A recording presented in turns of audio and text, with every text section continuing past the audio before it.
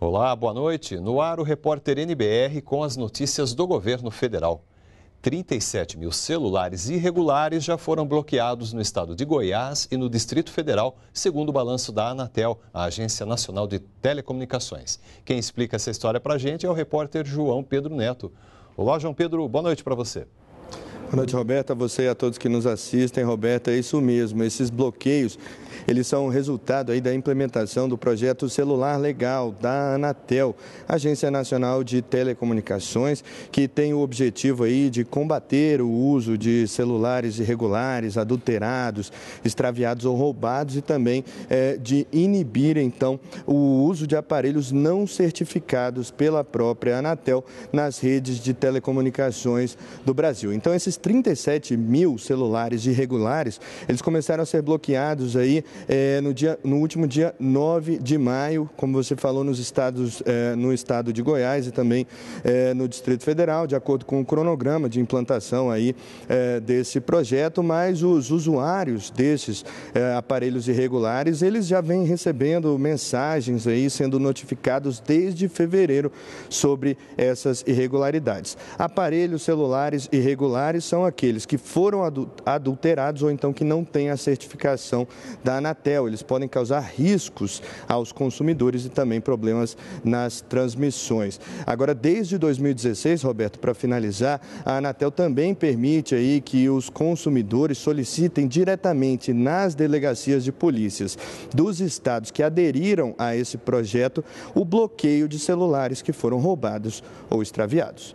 Roberto, volto com você no estúdio. Está bem, muito obrigado pelas informações. Até mais, João Pedro. O Disque 100 registrou um aumento de mais de 120% nas denúncias de homicídios de lésbicas, gays, bissexuais, transexuais e transgêneros no ano de 2017 em relação ao ano anterior. Foram mais de 1.700 denúncias de violações de direitos humanos, sendo 193 denúncias de homicídios. Em 2018, até o dia 8 de maio, o serviço registrou 58 casos de mortes de pessoas LGBT Dessas vítimas, 41 eram travestis. O ministro dos Direitos Humanos, Gustavo Rocha, reforçou a gravidade destes crimes de ódio e afirmou que a população LGBT é agredida e discriminada por ser aquilo que é. O ministro destacou que este é um exemplo do ódio e intolerância que a sociedade precisa combater. Essa é a semana de combate à LGBTfobia e o governo federal firmou um pacto nacional com 11 estados e municípios para instalar políticas públicas contra este tipo de violência. Os estados que aparecem aí na sua tela se comprometeram a criar conselhos e secretarias para atender esse público e promover ações de conscientização. Eles têm 60 dias para instalar um comitê gestor e mais 45 dias para apresentar um plano de ação. Em 2017, caiu o número de pessoas com 15 anos ou mais que não sabem ler e escrever. O resultado está na Pesquisa Nacional por Amostra de Domicílios Contínua, a PN, PNAD Contínua, que foi divulgada hoje. Até os 18 anos de idade, José sabia escrever apenas o nome. Lição que aprendeu com a mãe nos intervalos da lida na roça, no interior de Pernambuco. Ao chegar a São Paulo na década de 1980, percebeu a falta que a educação formal fazia. Voltou para a escola, mas a vergonha de não saber ler nem escrever o impediu de seguir adiante. Hoje, quase 33 anos depois, José voltou a frequentar a sala de aula. A leitura ele já tira de letra. De manhã, Luizinho pega o carrinho e sai pela rua o dia inteiro vendendo pipoca. A meta agora é escrever perfeitamente.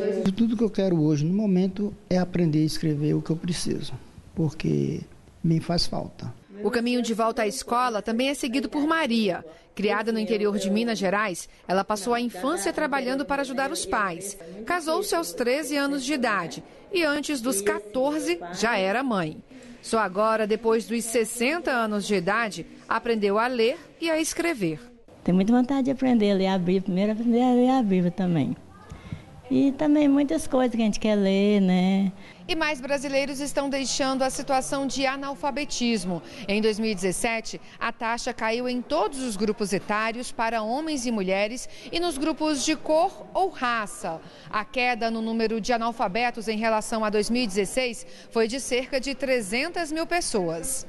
Em 2017, a taxa de analfabetismo ficou em 7%, uma queda de 0,2 pontos percentuais em comparação a 2016. O percentual de homens que não sabem ler nem escrever caiu de 7,4% para 7,1%. O de mulheres foi de 7% para 6,8%. Entre a população de cor branca, a taxa de analfabetismo saiu de 4,2% para 4%. E entre pretos e pardos, o índice foi de 9,9% para 9,3%. Já entre as pessoas com instrução, a taxa aumentou. Em 2017, 46,1% tinham pelo menos o ensino médio, percentual maior que o registrado em 2016.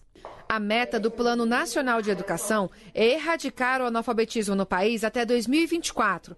Para isso, o Ministério da Educação oferece apoio técnico e financeiro para que estados e municípios promovam a educação de jovens e adultos. Em 2016, o EJA tinha 3 milhões 480 mil inscritos.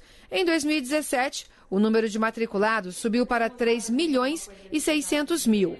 Além do EJA, o Ministério também trabalha com outros órgãos públicos para atender às especificidades de quem ainda não sabe ler nem escrever. Como é que fomenta a formação específica para atender esses públicos? É um conjunto, um material didático para a permanência ser feita e os livros atenderem a esse perfil de jovens e adultos. Então, toda uma política integrada que ao longo dos anos vem sendo feito uh, um atendimento que induz técnica e financeiramente as redes municipais e estaduais para que essa oferta seja feita de qualidade. Estou muito feliz com a escola, com os professores e com a equipe, com os companheiros de sala, que são todos maravilhosos, todo mundo tem vontade de aprender. Uma correção, a Pesquisa Nacional por Amostra de Domicílios Contínua, que trouxe os dados aí da queda do analfabetismo, é conhecida como PNAD contínua. E nós ficamos por aqui. Você pode rever as reportagens no YouTube. Toda a nossa programação também está na página da NBR na internet. Uma boa noite para você e continue com a gente na NBR, a TV do Governo Federal.